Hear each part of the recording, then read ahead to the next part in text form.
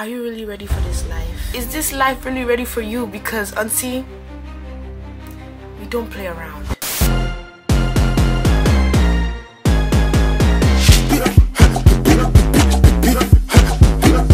Hey guys, welcome back to my YouTube channel. It's your favorite auntie Emma back on the camera. And in today's video, I'm going to be giving you college tips because I've learned it this year, my freshman year. And I won't lie, freshman year cooked me.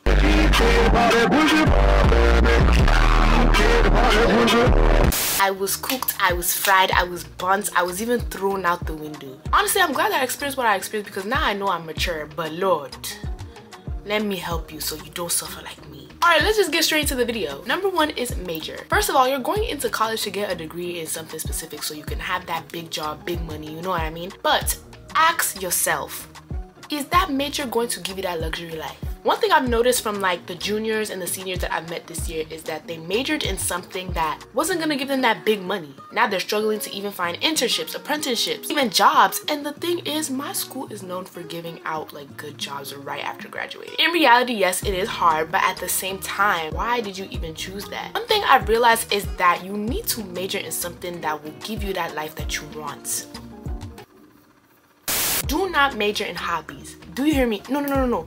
I want you to open your ears real good, real well. Open it. Do not major in hobbies. A lot of the times our passions are hobbies. They're not like big girl jobs that make big girl money. So as a hobby, just keep it as a hobby. If you truly want to make that passion of yours a job and you know it's not going to make you big bank, I'm not going to lie, college is not for you. You'll need to build your own business, start from the ground up. I'm sorry to say it, but it's true. For example, YouTube. Me doing YouTube, that is a hobby. It's not making me fat income right now, but if I build and keep keep continuing. Five years down the line, you feel me? That money gonna be rolling in. Monetization will be looking real swell. But in the meantime, I'm in school so I can get a stable job that will at least provide me a good life that I want, you know, make me have money to travel with my other aunties and have fun in this life. The whole point is be careful with picking your major. At the end of the day, this is your freshman year. Explore. You can explore through electives. You don't have to really do the core classes unless it's like really required. But yes, girl, explore. This is your time to actually figure out your life. Number two, classes.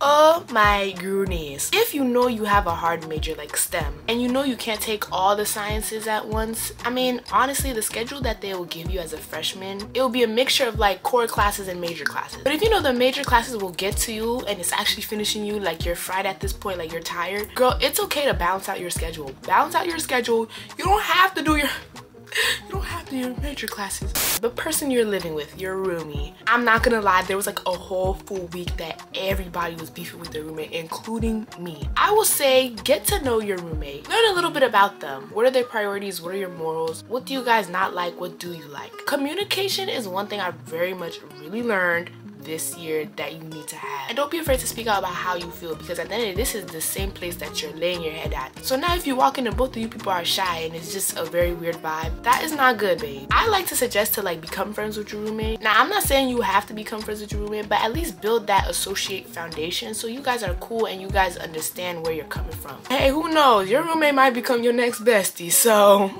yeah. And that brings me to friends. I won't lie, I literally fell into like a fat friend group and it just disappeared within like two weeks later. I was still cool with everybody. I wasn't like the person that was in the drama, but drama is still a thing. College is literally 2.0 of high school like Eastburg. Just don't let the drama get to you. Don't let the tea or whatever get to you. Obviously, if a person wants to vent to you, that is okay, but try not to get yourself wrapped into it. And low-key, that was the type of friend I was. Like, people would come to me about their issues and I would just be like, well, I don't know what you want me to do, but I don't even. One thing I realized is that you could just mingle with anybody. I'd rather have a few friends and a lot of associates than a lot of friends than a few associates. Try to diversify the people you get along with, the people you meet, the people you talk to. Because at the end of the day, you might meet somebody that actually can help you within your field or like connections when getting a job, as well as oversharing. Auntie, hold your lip. Do not overshare your business. You just got on. You're a freshman okay? You just got on there. Just don't tell your business. Like you just got there babe. Know a lot of times we love to like connect with people and be ready to tell them about our life story and just like how we can relate. But you really don't have to be telling everybody your business. Because that same person that will be smiling in your face you'll turn around and see that that same person is sharing your business. Not everybody knows. Everybody knows who. I'm telling you college is not what y'all think when it comes to like maturity. Like you think people are mature but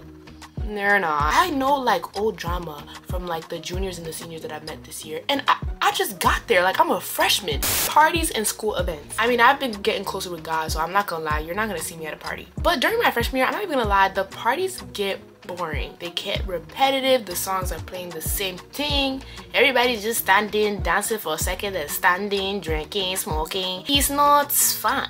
And honestly, it's not worth it because it's taking away time from your study time and it's just, it's not up to the hype at all. I say go to a party every once in a while and always be safe. Bring a friend with you, bring a reliable friend with you because some of these people, oof, I'm not even gonna talk about that. Like, I've just heard so many stories about things that really could have been avoided if they just brought the right friend with them and, well, friend. But yeah, brought the right person with them because, aish, this world, people are still evil. There's literally predators that go to college.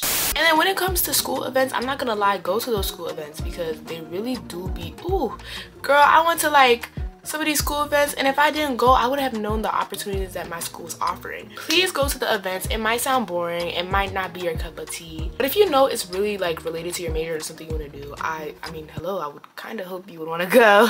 be involved with the school, I'm not gonna lie, because you're low-key building your portfolio. Like you're building not your resume on paper, but like your resume in person. Like physically, like people would know that you're getting out there, you're ready for these opportunities, you're the ones to be the leader, you know what I mean? At the end of the day, we're all running the same race like who's gonna finish the finish line you know all right let's get let's get into the juicy topic that everybody has been waiting for getting I'm not gonna lie, not even from a religious perspective, baby. I don't think I don't think you need to be dating. Now there's some people that are already dating and they got it locked in, they got it down like that. But if you do want a date, please be careful be careful. I kid you not, I've just, I've heard too many things, y'all. I'm not trying to expose these people, but I've heard too many things. If you're already in a long distance relationship, obviously the main thing is just communication and just stick through it, like, thug it out. But if you're like single and you're ready to mingle, please ask yourself, does this person priorities rely with mine? Because we both here trying to get an education, but why is uncle trying to get my pants? Oh, oh, yeah, that hurt, didn't it? Because it's the truth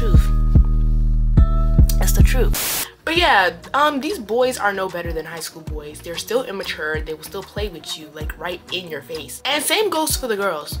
The girls are worse too. I'm not even gonna lie. But both both genders, both people, they will play your face. There's so many situationships out there, and I'm not gonna lie. I don't think it's worth the stretch. You're literally in college. That is stressful enough. And now you have Mr. Man, Mr. Woman playing in your face like this. I kid you not.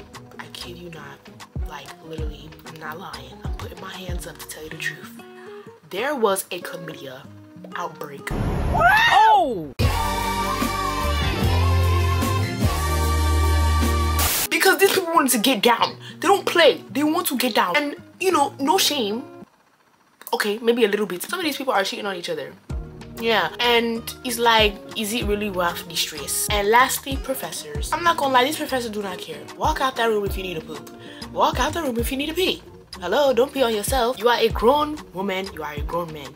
Honestly, I don't even know why high school wanted us to, to come and raise our hand, do this and that. Like, there's some things that high school needs to stop doing so we're actually prepared for the world because now we will sit there and embarrass ourselves and raise our hand very high in the sky just for the teachers to be like, what? Even when it comes to like answers, you know how like in high school people be like, oh, Stop shouting out the answer, raise your hand, raise your hand. In college, they're actually begging you to shout it out. Like they're begging you to speak. And honestly, I think you should connect with your teachers. Like my freshman year, I'm not gonna lie, I really was shy, but I was low-key kind of getting close to my advisor because he literally was my professor for one of my classes. And I'm not gonna lie, he's very chill. Like you need to keep in mind these people have been in your place and some of these teachers are not far from your age like outside of class or whatever but yeah i feel like you should build some type of a bond or some type of a associate relationship with your teachers because at the end they, they really could help you out here. Counselors, any resources, they'll probably be able to provide it for you if you just ask. Also, when it comes to these professors, I will say read their rubric because I I know I know some of y'all be using ChatGPT. I'm not even gonna lie, me